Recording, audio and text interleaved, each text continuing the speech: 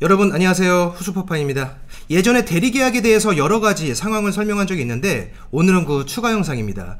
오늘 내용은 대리계약을 진행하는데 건물주가 외국에 장기 체류하고 있는 상황이에요. 임대차 계약에 준해서 설명할 건데 매매계약에서도 원리는 같으니까 참고하시고요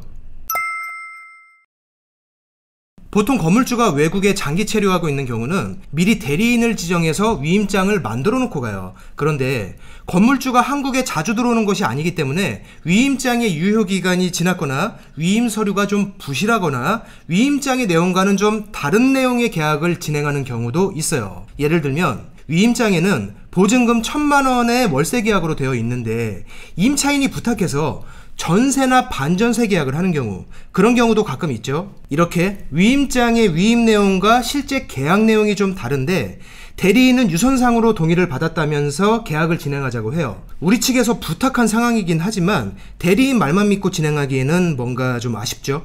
자, 이렇게 건물주가 외국에 장기 체류하고 있는 상황에서 위임장이 없거나 유효기간이 지났거나 서류 자체가 부실하거나 또는 위임장의 내용과 다른 내용의 계약을 진행해야 할 때 이 계약 하나를 위해서 건물주가 한국에 왔다 가기는 어려워요. 비행기 값도 엄청나고. 이때 계약을 확실하고 안전하게 진행하는 방법. 이게 오늘의 주제입니다.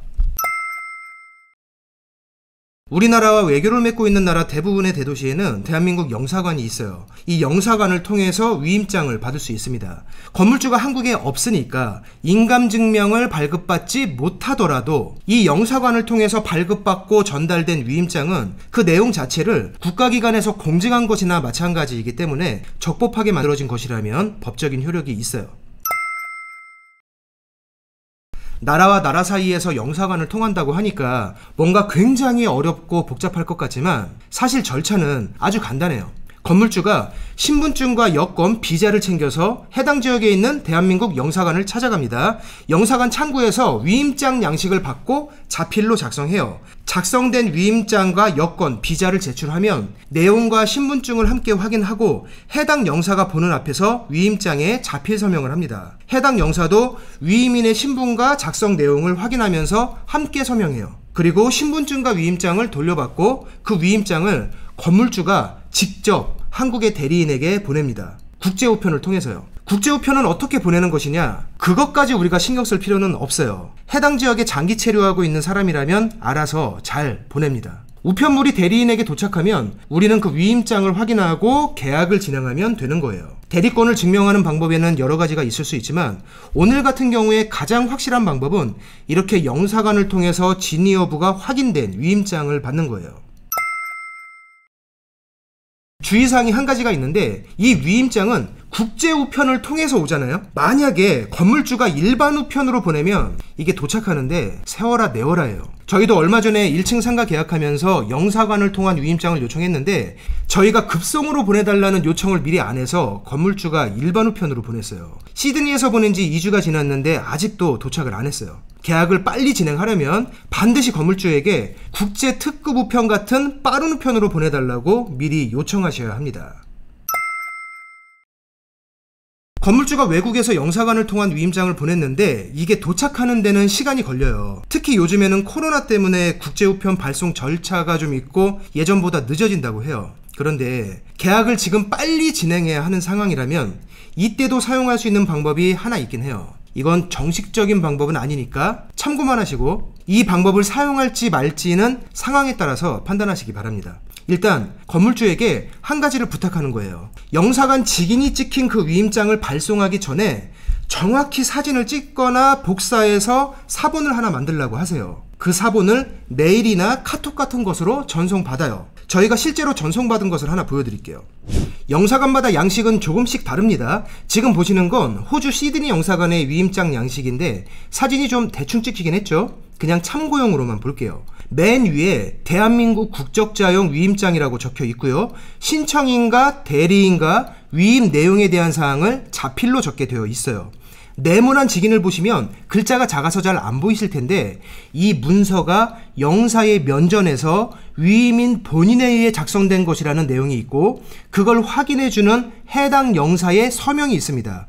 그리고 그걸 공증하는 시드니 대한민국 영사관의 관인도 찍혀 있어요. 여기까지 내용을 확인하시고 맨 밑에 있는 문서 확인 번호를 주의 깊게 보셔야 합니다.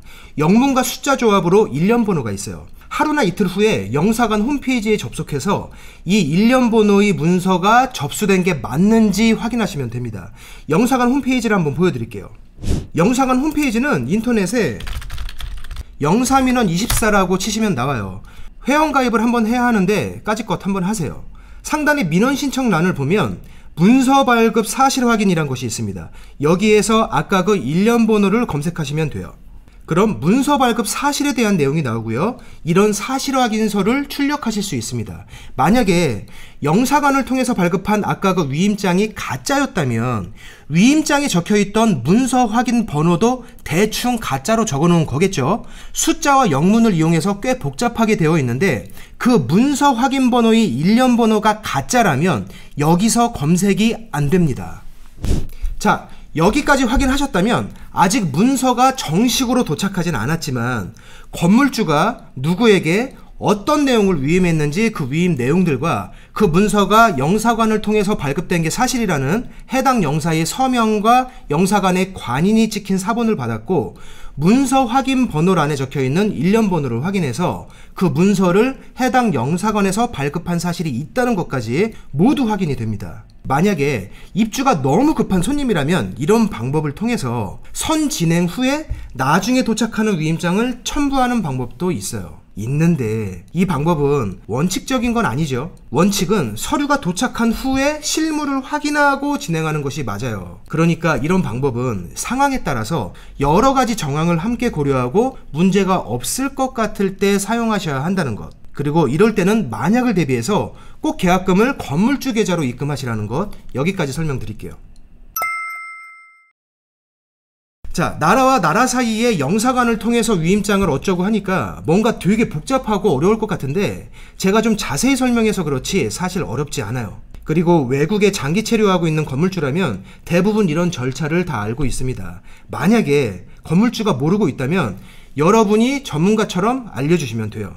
건물주가 귀찮아하는 기색이라면 임차인의 재산을 지키는 것뿐만 아니라 임대인의 재산도 지키는 아주 중요한 절차라고 설명하세요. 건물주가 외국에 장기 체류하고 있을 경우 영사관을 통해서 위임장을 발급하는 방법 오늘 영상은 여기서 마치겠습니다. 고맙습니다.